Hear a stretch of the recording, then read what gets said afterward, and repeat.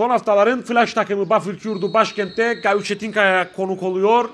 Gavi Çetinkaya kendi sahasında Bafül Kürdü karşısında puan ya da puanlar mücadelesinde Bafül Kürdü'nün atak girişimi var o bölümde. İyi bir zemin Atatürk stadında gelişecek olan Çetinkaya atağı Mustafa Yaşın ses yaptı ortasını bir kafa vuruşu dışarıda.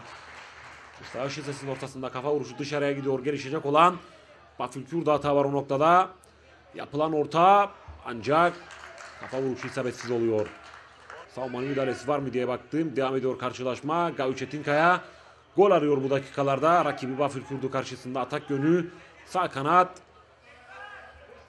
Yapılan orta top filelere gidiyor. Dakikalar 26'yı gösteriyor. Arnold'un ortasında Faye takımını 1-0 öne geçiriyor. İzliyoruz pozisyonu.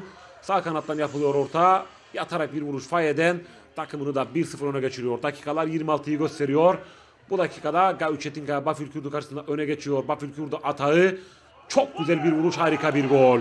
Gerçekten son derece güzel bir gol. Dakikalar 32 izliyoruz golü. Hüseyin Hürben kaleci Ufuk'un çabası var yetersiz.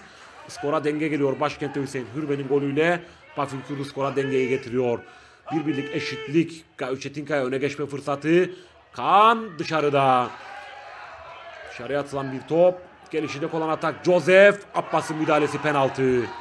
Joseph Abbas'ın müdahalesi penaltı. Dakikalar 43'ü gösteriyor.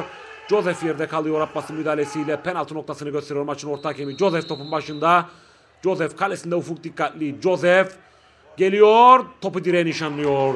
Kaçırıyor bu pozisyonda Joseph vuruşu yararlanamıyor 43'te. Penaltıdan yararlanamıyor Joseph. Önemli bir dakikaydı Bafil Kürdü adına. Gelişen bir başka atak Mustafa Yaşınses yaptı ortasını. O noktada savunma Laval. Boşta kalan top. Sonrasında ise çalan düdükle ilk 45 dakika tamamlanıyor. İlk yarı skoru 1-1. Gavi Çetinkaya bir Bafil Kürdü 1 şeklinde ikinci yarıya. Gavi Çetinkaya'nın vuruşuyla başlanıyor. İki gol vardı ilk devrede karşılıklı atılan birer gol. Kaçan bir de penaltı vardı Bafül Kürdü adına. Gelişecek olan Bafül Kürdü atağı soldan yapılıyor orta. Kafa vuruşu yakın mesafe top dışarıya gidiyor. Joseph pozisyon içinde olan isim ancak değerlendiremiyor pozisyonu. Sağ kanattan gelişecek Gavi Çetinkaya atağı. O bölümde Kaan kaleye vuru mu diye baktım. Yaptı ortasını vuruşu ancak Hüseyin Şerif Ali'nin kontrolünde top dışarıya gidiyor. Bir başka pozisyon top filelerde. Emre Özsin dakikalar 78. Sahneye çıkan isim oluyor. Takımın öne geçiriyor. İzliyoruz pozisyonu. Emre yakın mesafe. Hüseyin Şerif Ali çaresiz bir pozisyonda.